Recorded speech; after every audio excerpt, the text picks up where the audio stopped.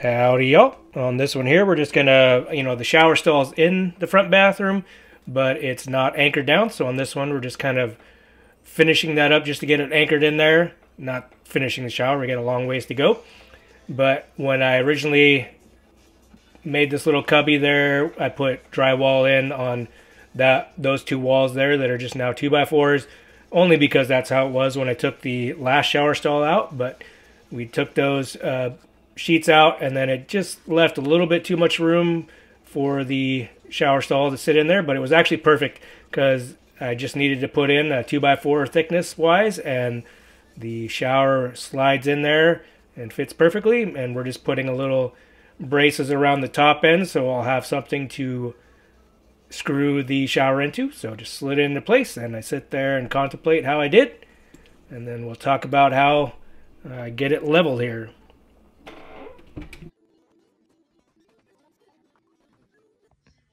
All right, now that we got it sitting in there, I mean, I could, it's not bolted in, so just trying to level it out here. And we're getting close. Uh, like most mobile homes or single wides especially, the outer ends are always going to be sagging a bit because of all the weight from the walls and the roof compared to, you know, center of the house or where the metal beams are. So just kind of trying to put a shim in here. So we just got it uh, hammered up with a chisel. And then we'll put a shim in there in the front, maybe one or two here. And then try to get some in the back if I can reach my arm around there when I put the back end uh, shims back there. And then in the end, I'm going to shove a bunch of uh, mortar uh, underneath here in the center spot to strengthen it up and keep it uh, level. But that's where we're at right now. All right, so looking in here, I did just, I got one shim right now. I've been kind of adjusting it. I'll put more shims once I screw all this and get it all set into place. But um, this little level in the midpoint, looks like we're level there. I hold it up to other places here. Where we're at here. Oh, that doesn't look level. There we go. And then we hold it up here, level up here on top, go over to the other side, and level up there, go on the sides here, level there, and this side looks good Right here. Good. And most importantly, in there looks good. So we'll so we'll screw it down around the perimeters. Put some more shims down here just to tighten it up. And then hopefully all will be well. And I can put some mortar in there underneath at some point. Drill a hole and continue on.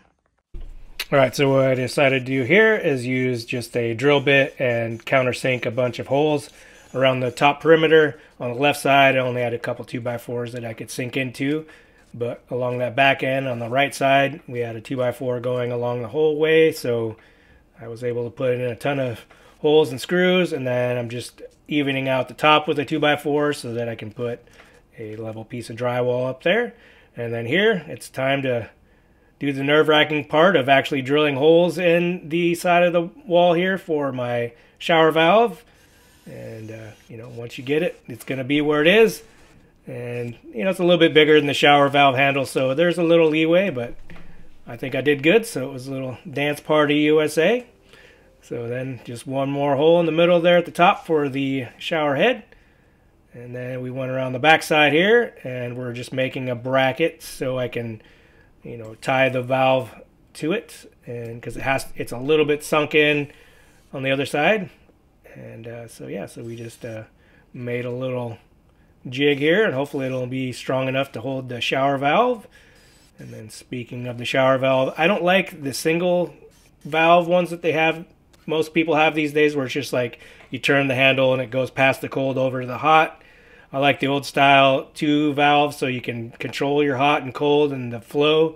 So I'm just reusing the old one. So just replacing all the uh, O-rings and we'll talk about how that went here in a second.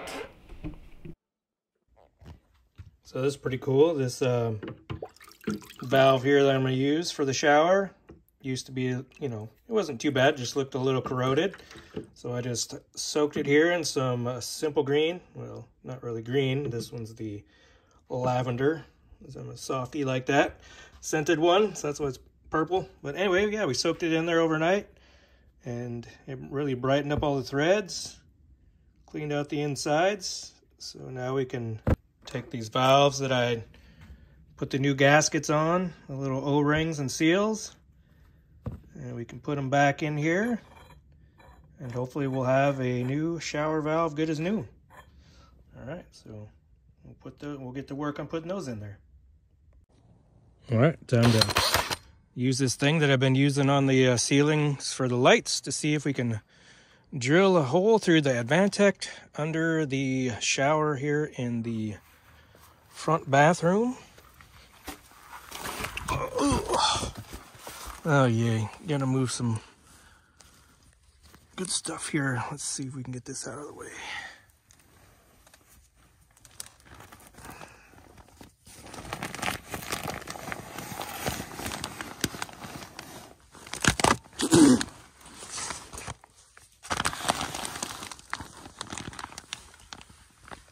I think we have a hole here and here. This is where I thought it was going to end up, but it's actually going to end up right here. So we'll drill in there. I can't record it at the same time, so we'll do it, see if I get it done, and then show you. All right, there it is. You got the part out of there. It ended up being a little bit farther on this side than where it was supposed to have been, but it's all right as long as I can get the drain on there we'll be good to go, I think. Yep, and there we did. We just went in there, just got it hand tightened here just to see if it works. And looks like there's plenty enough room to get a tool in there to tighten it up when need be. Get the plumbing in there, but now I'm gonna just get some uh, mortar in there, mortar base to tighten it up on the bottom. Alrighty. All right, time to get a little dusty here and just mixing up some mortar Put some mortar in there, put some water. I used stone veneer mortar. Uh, only used it because it was the cheapest I could find. I don't think I need anything special because it just needs to be sand that sticks together and I think that'll work pretty well. So we'll talk about that. All right, here we are the next day and it's almost dry. You can still see it's a little wet down there, but anyway, um, just wanted only have, I'm able to feel it when I put my hand down here, I can feel the, about right there is where I can feel the mortar. So it made it out there, so almost half. So I just wanted to test to see if it made a difference. And when I step on this side, it oh, it's so tight. And then you can kind of hear the difference. Well, maybe not, maybe not on the camera, but anyway, I can feel it kind of flex a little bit on this side and it's stiff on this one. So yeah, that, that makes a big difference. So I'll go underneath there and throw some up from underneath in the gap there um, because I can't reach it obviously from this side. So we'll go do that. What do we have here? New Tool Tuesday, even though it's a Sunday. Yeah, so we got all the drywall up here that's not taped and mudded and finished. So I don't want to hand sand. So they were having a sale at the good old Harbor Freight. These are normally 150 and they were on sale for 99. So I went and picked one up because even the cheapest ones on Amazon, at least the ones with the pole, are at least 100 bucks and they don't get the best reviews. So this one gets a pretty good review for being Harbor Freight and just a cheaper end one in general. So hopefully it'll work well. I don't think we'll be doing any drywall finishing anytime soon, but we got the tool for that. And we picked up some, you know, sanding discs as well. And then we picked up this cheap little $10 door knob and lock jig so I can work on the doors that I have for my entries to the bedrooms and bathrooms. Uh, they just have one hole drilled out for just end caps because I think they're supposed to be sliders for closets, but we're going to turn them into bedroom doors because they are pretty skinny and mobile homes have skinny ones. skinny doorways, especially single wides. Then some this spongy uh, sand pads for drywall stuff too. One of these to make sure I did all my wiring properly on the outlets, which I think it did, so. But we picked it up anyway, and then just a little cut off Japanese style pull saw and a pair of gloves. So little score since I was in all the way in town to get uh, something this over at the Harbor Freight. And it's not in my town, it's a town over. So get a bunch of things while I'm there. But anyway, woohoo. Always happy to get new tools.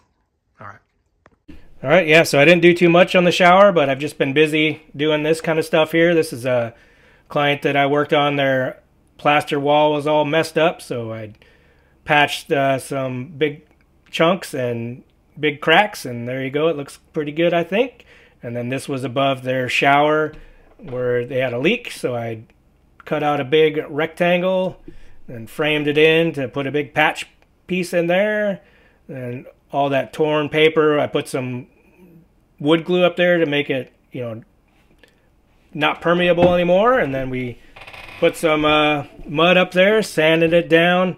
Oh, I used a uh, little orbital sander, and oh man, it was so dusty. So I would have loved to have that new sander that I just showed you back there, but we didn't. But oh well, we got it sanded pretty well and painted, and they were happy. And I did some other jobs for them, but those are a couple of the big ones. And then other things I've been doing is tearing apart that white truck I got. And so we're just trying to get that done too, so I can get it out here and not look like a junkyard. And then the neighbors were doing this on the lot behind me here. So sad. They're clearing it. They're to put a double wide in there. But yeah, just cutting all the giant trees. Sad to see them go. But it's the way of my neighborhood these days. But anyway, so yeah, just doing that. And I'm going to go back and do another job up near my mom's house. I've been doing work on her house too. So hopefully we'll get some more work done on the house. But this is why we haven't shown too much. So take care, y'all, and we'll see you on the next one.